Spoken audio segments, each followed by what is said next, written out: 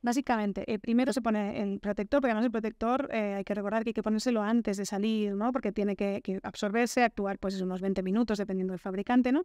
Y luego nos ponemos el repelente. El repelente normalmente vamos a tener que reaplicar, porque depende de los porcentajes, va a durar unas horas o otras, ¿no?